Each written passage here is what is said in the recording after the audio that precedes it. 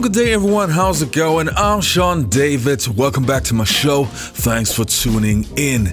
In today's episode, we're going to take a look at NBA legends reacting to LeBron James calling himself the GOAT. Now, he won his fourth NBA championship, and the conversation about who's the greatest of all time is getting bigger and bigger. So it's really interesting to see what NBA legends had to say when LeBron James, not too long ago, made his opinion. But before we get to that, let me give a quick shout out to my Patreons. Thanks a lot, you guys, for supporting the show. It's really appreciated. All right, enough said. Let's dive right into today's episode.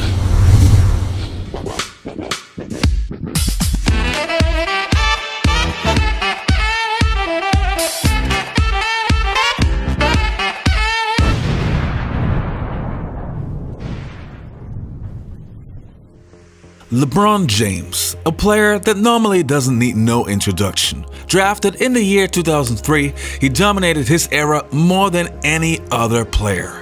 Now winning his fourth NBA championship, the conversation about who's the greatest player of all time or the GOAT is at its peak. For many of the young generation who have never seen Michael Jordan play, except maybe for some YouTube highlight videos, it's hard to understand why LeBron James shouldn't be the GOAT. He won countless accolades, made it to the NBA Finals almost every single year, and even I, as a hardcore Michael Jordan fan, gotta admit that LeBron James is really a unique talent. But I personally will never ever change my mind about that Michael Jordan is the greatest player of all time. But it looks like even LeBron James feels that he now surpassed MJ and he's now the greatest player. And that was even before he won his fourth ring. Now, let's have a look at what exactly LeBron James said. In 2018, and where we will live probably for the rest of our lives. the argument about the greatest of all time, which LeBron James relit this week when he was heard by everyone on the latest episode of More Than an Athlete, currently available on ESPN Plus, saying this. That one right there made me the greatest player of all time. For That's so what many I felt. reasons. I was super, super ecstatic to win one for Cleveland because of the 52 year drought. Like I was ecstatic. Like obviously, I showed that, that the first wave of emotion was when y'all everyone saw me crying. Like that was all for 52 years of everything in sports going on in Cleveland.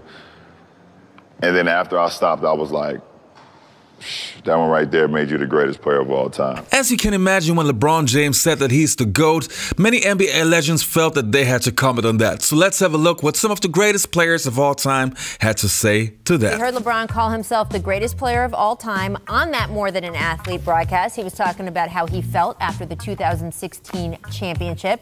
Well, Danny Ainge not only disagrees, he strongly disagrees. Here's what he said about LeBron and a local sports radio show in Boston. Quote, his career's not over. I'd just like to know why he's saying that. I don't know. Maybe he thinks that sells. Maybe he's taking the Donald Trump approach and trying to sell himself. I don't know. Wow, Follow that, Scottie Pippen. that's a tough one to follow. I mean, that's um, that's Danny Ainge's opinion, Right. and you know we all have our opinion. But my problem is more so with LeBron. Is if you are the greatest player, if people are saying you are the greatest player, or if people are saying Michael Jordan is the greatest player, why do you need to say it? Right. Michael Jordan has never, ever said he's the greatest player to ever play the game. Why? He's respected all the other players before him. So for LeBron to say that, he's sort of pulling himself out of it because you can't say you're the greatest player. You have to allow your peers in the world to say that.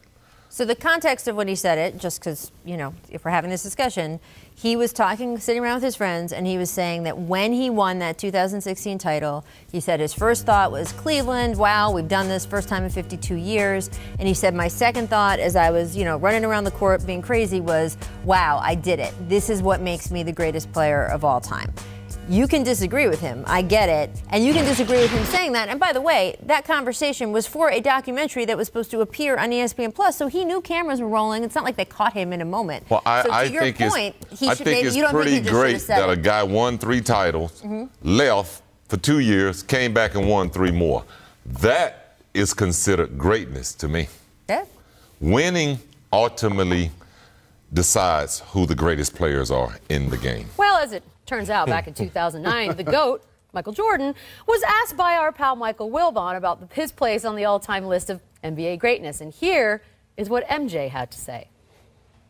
I don't want it in a sense because I think it disrespects Wilt Chamberlain, uh, Jerry West, you know, all the guys that prior to me I never had a chance to play against.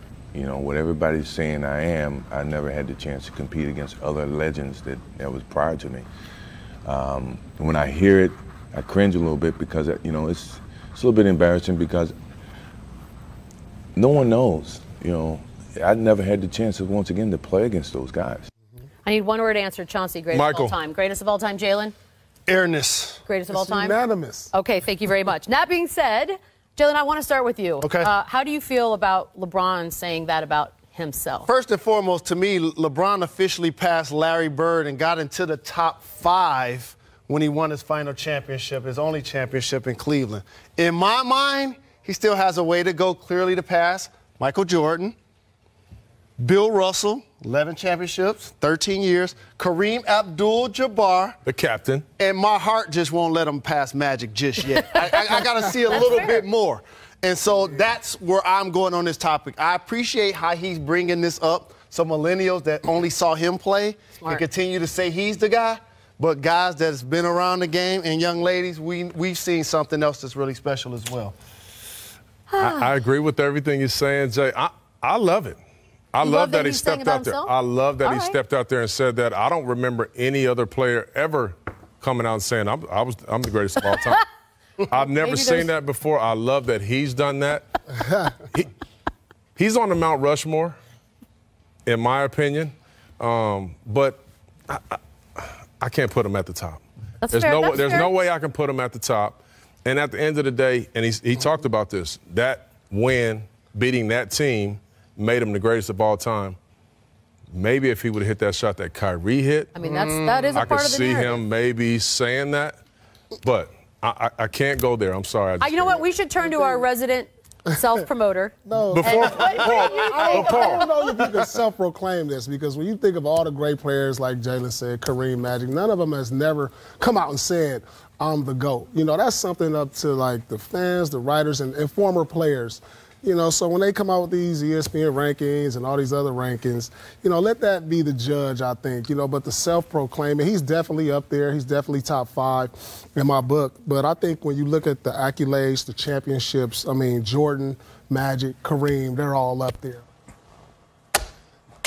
Um, I've never heard uh, one of the greatest say they were the greatest of all time. That was uh, that was very interesting to me. Kevin, what, what are your thoughts? Oof, man. It's, uh, you know what? It's one thing. We all sit at this table all the time and sing his praises. Yeah. I, I think LeBron is a great player. Yeah. I just think that's disrespectful, honestly, to Bill Russell. Who- What did Bill Russell do? Won every time. He said, "All right, fellas, you want to win? Come with me. We'll go on the floor." That's Yeah. what this game's all about. Kareem Abdul-Jabbar. Yeah. I mean, you, and, you know, and he was Michael greatest on time, Jordan. all And levels though. Kareem, the best in high school, the best in college, and the best in, in the pros. at That's what I'm saying. You, you know, Michael. I mean, th- there's just so many. Two of my good, Larry and Magic. I mean, just led teams and, and turned the league around. You don't need to say that about yourself. Let other people say that for you. I mean, I was kind of surprised because I had read about it, but I- that's the first time I had actually heard him say it. Made me the goat. I'm like, damn. I was like, Tell us how you really yeah, feel. Yeah, I was like, okay, you know, I, I and I love the kid. I think he's a great player. I think he's been great for the game. But let other people say that for you. I just, I just, it, to me, it's just disrespectful for a lot of people that came before you that were great, great, great players. And you said it to begin with, Chris. You can't compare eras and all that stuff. All these guys have been so great in their era. I just didn't like. I, I didn't like the way that sound sounded to me. Just didn't Yeah. like it. You know, I and, and everybody knows I, I, I love LeBron, but I'm, I'm gonna call time out on this one because and and I'll speak definitely to LeBron or I'll say it to his face. when- But you you never there's a certain thing about greatness that demands that you have humility mm-hmm. with greatness.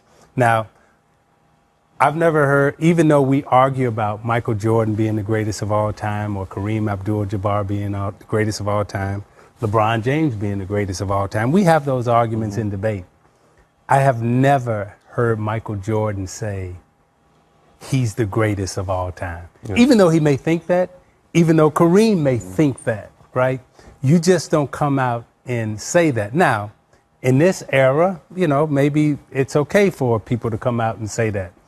All I know, if I was in the league right now, and you talking about you the greatest of all time, dude, I'm getting ready to do you. I'm, I'm, I'm coming at you. Like, and and you may you may be, but to to say that is just totally disrespectful to me as one of your competitors, as one of your teammates, as someone in your generation right now. It's just you you don't come out and say that. So with with greatness, there's a certain amount of humility that goes with that. Now somebody will probably come back and say, "Well, Muhammad Ali said I'm the greatest."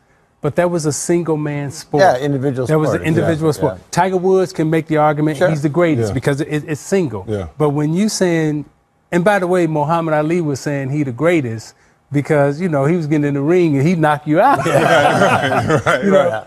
But you know, for to be able to take that stand and to take that position in in this day and age in a team sport, you should have some humility that goes. The one thing that always confuses me a little bit is when LeBron James on the one side says that he's the greatest of all time, but on the other hand, he also many times mentioned that he felt that Michael Jordan was the greatest player of all time. Let's have a look. Yeah, he was back when when he came back the first after the first retirement. Oh, um, it was a very joyous moment for for my community, uh, for myself, for my friends. Um, just having the greatest basketball player ever. You know, coming back playing the game. You know, I needed that inspiration. Growing up in the inner city, you know, it's like I kind of like lost uh, lost a superhero when he retired. Someone that I kind of needed to help me, you know, some way somehow, even though he didn't know it. Alright, you guys, that was it for today's episode. I hope you enjoyed this video. Do me a favor if you liked the video, hit that like button. Also, subscribe to the channel. And if you want to hear a podcast with me and former NBA legends like Dennis Rodman, Shawn Kemp, Dominique Wilkins, Tim Hardaway, Alonzo Mourning, and so on and so on, please check out the Basketball Time Machine podcast on iTunes and on Spotify. Alright, that was it. You all be healthy, take care, and goodbye.